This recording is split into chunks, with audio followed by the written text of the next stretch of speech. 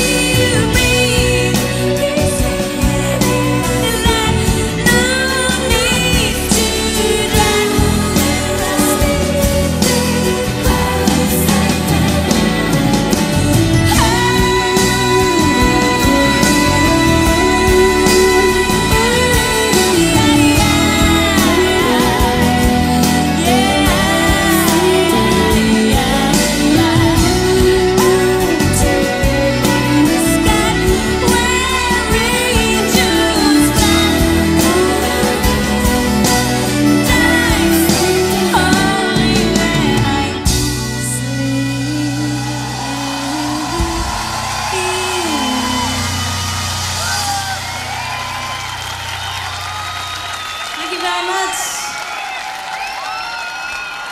We're working on this quite a long time, you know, and I think uh, I think it's paid off. I think that every band, when they start out, they do, I mean, wish for a hit immediately, and we never did get a hit single, an actual hit single off our first album, Forgiven Not Forgotten. But I mean, it, in retrospect, the children are oh, fine. Poor baby. Poor baby. in retrospect, uh, you know, I think it you're more grounded, you're more ready for it when it when it does start to happen. And I mean, we're certainly enjoying the success that we're having now on Talk on Corners. So I mean, everything works out for the best. The guy who signed us to Atlantic Records originally was coordinating the, the Legacy album, the tribute to Fleetwood Mac, and he asked us would we like to get involved in it. And uh, Mick Fleetwood heard our album and said he liked it and offered us Dreams. We said, yeah, okay. And we did it. It was a song we've always loved, and uh, we had it remixed by um, Todd Terry, and it just turned out wonderful. We, so we stuck it on our album and uh, released it as a single.